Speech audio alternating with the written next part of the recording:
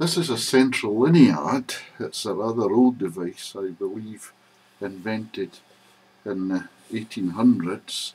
It was a popular tool in the 1920s where this version has been copied from. Basically, you have two adjustable arms and a blade, rather like a traditional T-square. The adjustable arms run against two pins, which you can vary the distance between them. The pins in this case are on the left hand side of my drawing board. I also have positions for pins on the right hand side. I'm going to try and quickly try and demonstrate how this thing works. You must keep the blades in contact with the pins at all times. I'm putting in some light lines but they might appear quite dark. I'm just making this up. There's lines sloping in one direction. I'm going to go back to a traditional T-square to put some vertical lines in.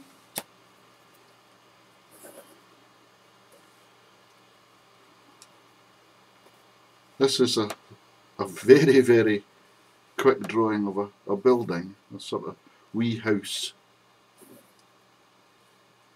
It's nothing elaborate, it's just to demonstrate how the instruments work.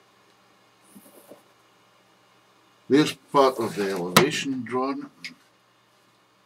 Not, not to scale, I hasten to add. I've now got another centrolinead centrolinead and it's working from the other direction. The reason I've got two is I can set the angle differently. I don't have to keep going back to alter things. If you wanted the same angle, that is the same slope towards the vanishing points, then you could use both sides of the blade of the T-square. Right, here's the other side of the building. I'm going to just find the middle of that and project that point right up until it reaches the ridge on the roof. Join that up Let's put a wee window in the end here, just because I feel like it. Okay, there's one, two, three windows and a door. The slope on there is roughly the same as the slope there, so just project that angle across and draw that in. Now I've put these lines on my drawing fairly dark because they tend not to come out on the video.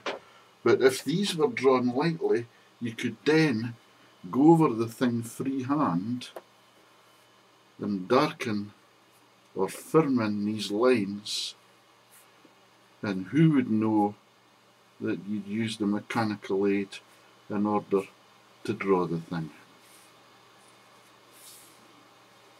Let's while we're at it stick a chimney in that would slope back down there.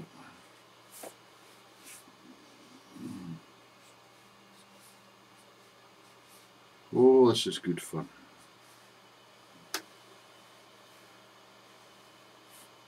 Evidently architects in the 1920s and 30s used devices like this to make sure their presentations were spot on.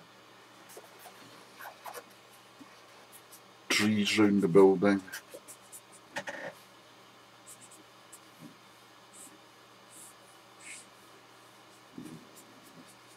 Wee and so on.